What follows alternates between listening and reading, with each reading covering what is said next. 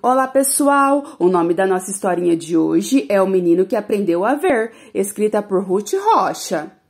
João vivia espantado. Que mundo mais engraçado! Quanta coisa que há no mundo! Há coisas que a gente entende e há coisas que a gente não entende.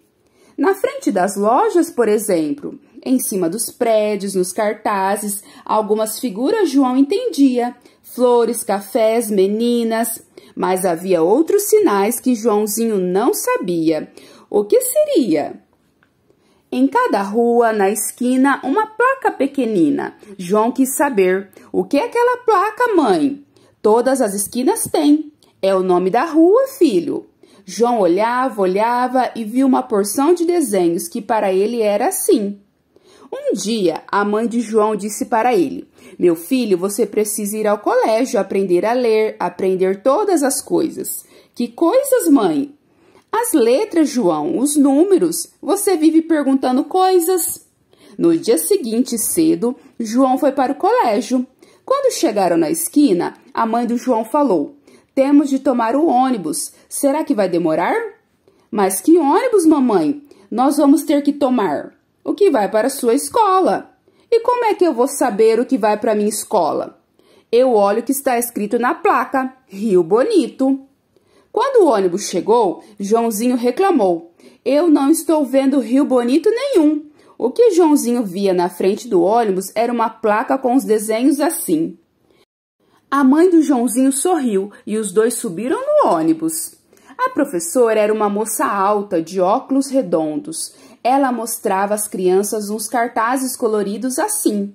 E ela dizia: A, A, V. E as crianças repetiam: A, A, V. E a professora escrevia no quadro negro. Quando João saiu da escola, que surpresa! Na rua, nas placas, nos cartazes estavam pintado o desenho da professora. Em todos os lugares, para onde Joãozinho olhava, logo logo ele encontrava. Joãozinho não compreendia, no meio dos outros desenhos que João não conhecia, era isso que ele via. João puxou a saia da mãe. Olha, mamãe, quantos A, A, A nas paredes! A mãe do Joãozinho achou graça.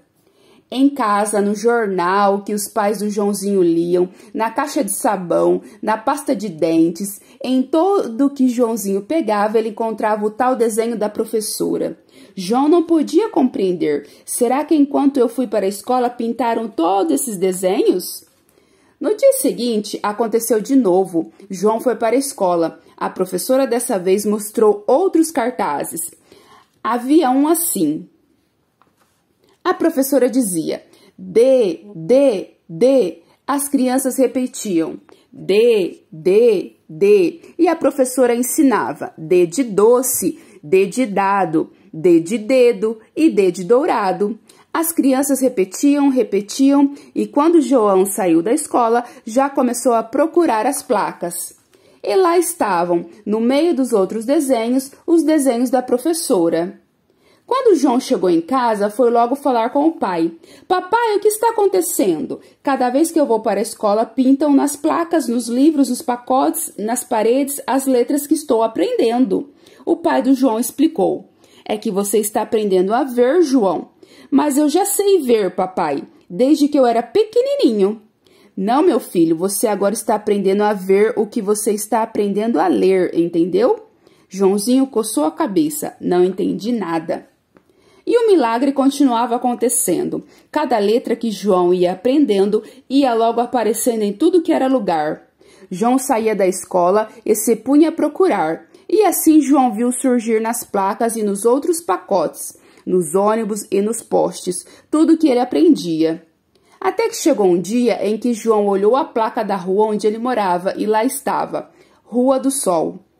Reunindo aquelas letras, formou-se o nome que João já conhecia, Rua do Sol.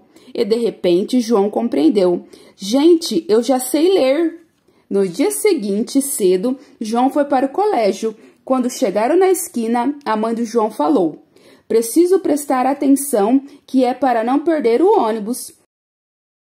Pode deixar que eu presto, mãe. Pode deixar, que eu já sei ver.